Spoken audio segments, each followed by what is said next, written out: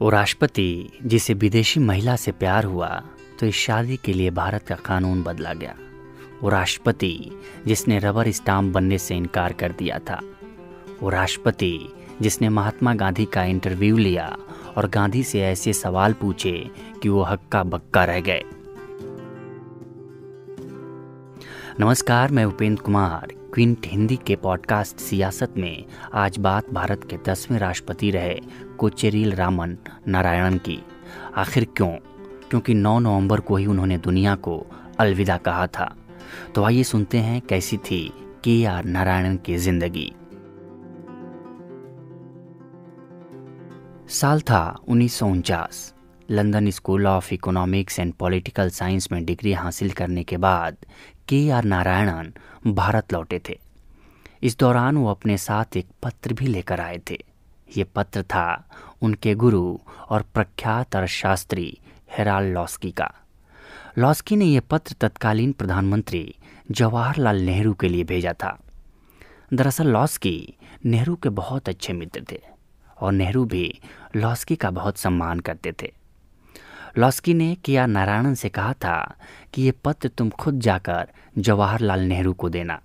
भारत लौटने के बाद किया नारायणन ने जवाहरलाल नेहरू से मिलने के लिए प्रधानमंत्री कार्यालय से वक्त मांगा।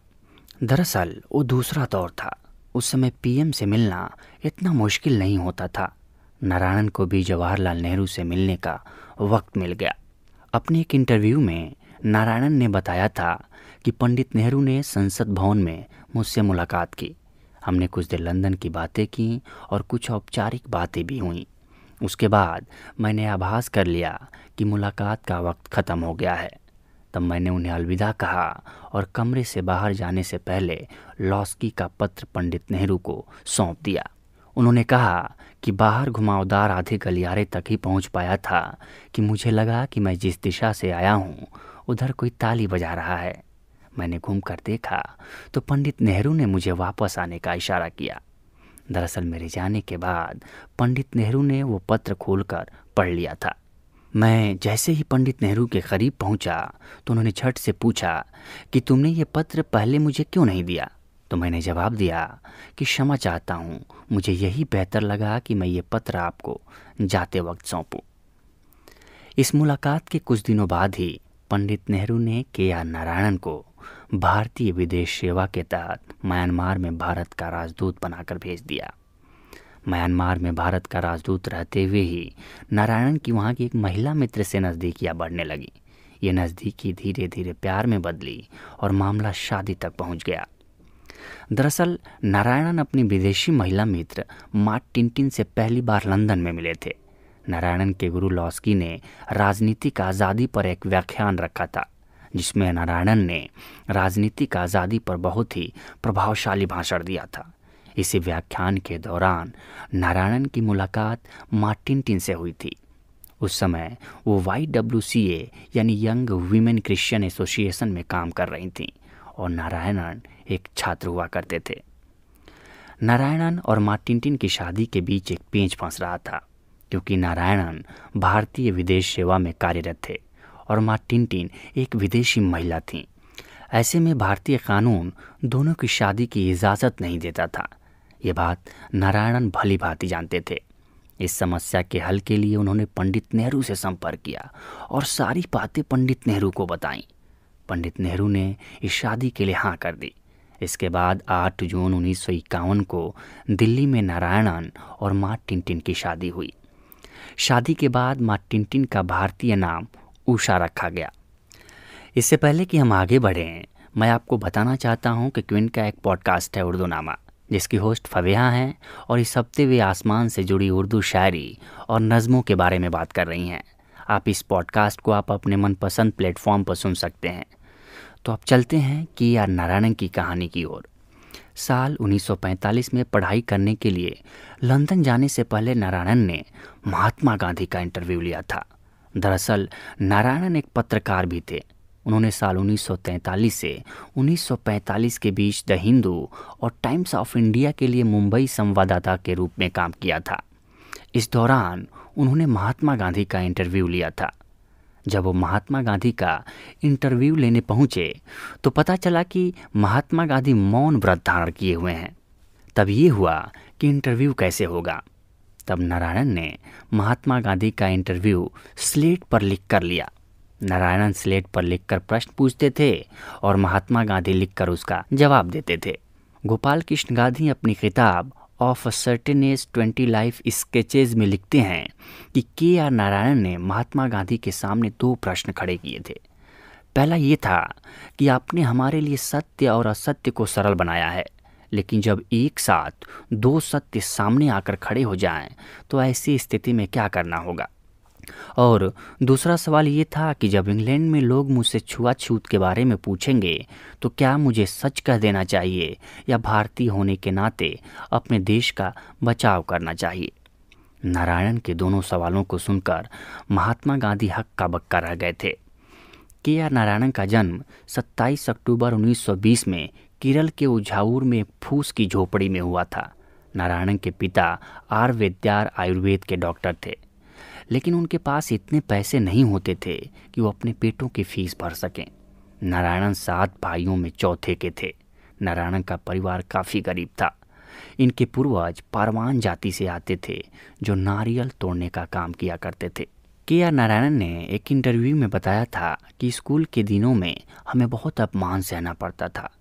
क्योंकि जब भी फ़ीस मांगी जाती थी तो हमारे पास उतने पैसे नहीं होते थे कि हम स्कूल का फ़ीस दे सकें। तो हमें क्लासरूम से बाहर कर दिया जाता था। ऐसे में हम क्लास के बाहर खड़े होकर खिड़की से ही देखकर पढ़ा करते थे। दरअसल के आर नारायणन को पढ़ने का बहुत शौक था, लेकिन पैसे नहीं होने की वजह से किताबें भी नहीं खरीद पाते थे। तो उनके बड़े भाई के आर नीलकंतन छात्रों से पुस्तकें मांगकर उनकी हु बहू नकल उतार कर नारायण को देते थे। नारायण ने सेंट मेरी हाई स्कूल से मैट्रिक और सीएमएस स्कूल से इंटरमीडिएट की परीक्षा पास की। इसके बाद कला में स्नातक किया और फिर साल 1943 में त्रावणकोर विश्वविद्यालय से स्नातकोत्तर की परीक्षा में टॉप किया। नारायणन त्रावणकोर विश्वविद्यालय के पहले दलित छात्र थे, जिसने यूनिवर्सिटी टॉप किया था। साल 1945 में जे टाटा से छात्रवृत्ति मिलने के बाद नारायणन पढ़ाई के लिए लंदन चले गए।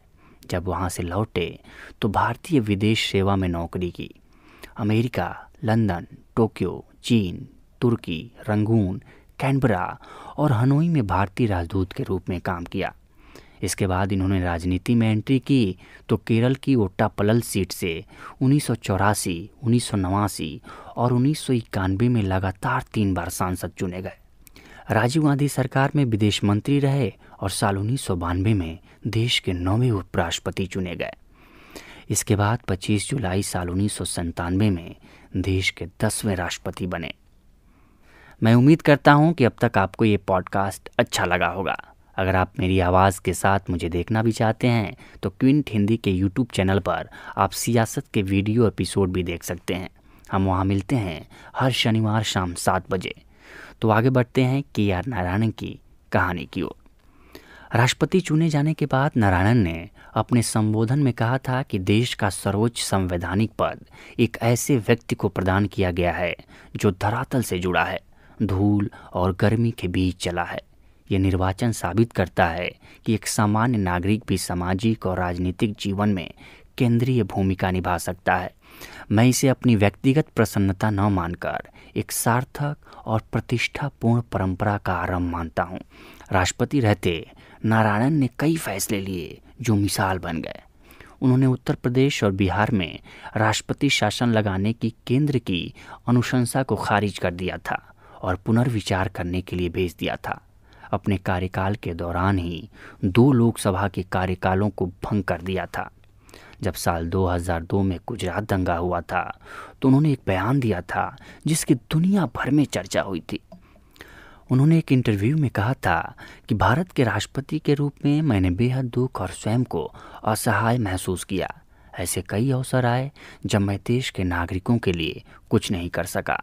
इन अनुभवों ने मुझे काफ़ी दुख पहुँचाया। सीमित शक्तियों के कारण मैं पीड़ा महसूस करता था।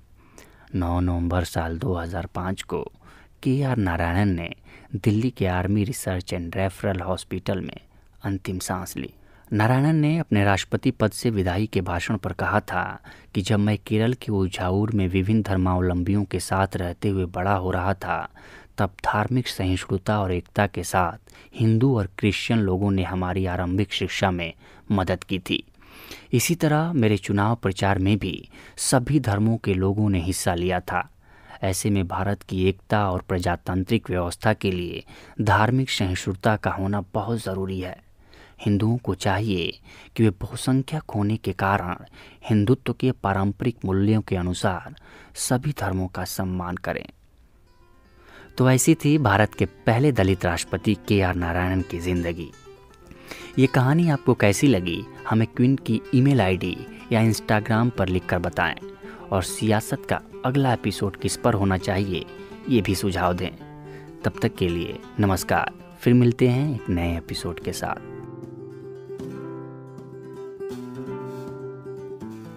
सियासत क्विंट हिंदी का ओरिजिनल पॉडकास्ट है। इसे एग्जीक्यूटिवली प्रोड्यूस किया है रितु कपूर और संतोष कुमार ने। इस एपिसोड को एडिट किया है अंजलि पलोड ने। और बैकग्राउंड म्यूज़िक बीएमजी प्रोडक्शन से लिया गया है।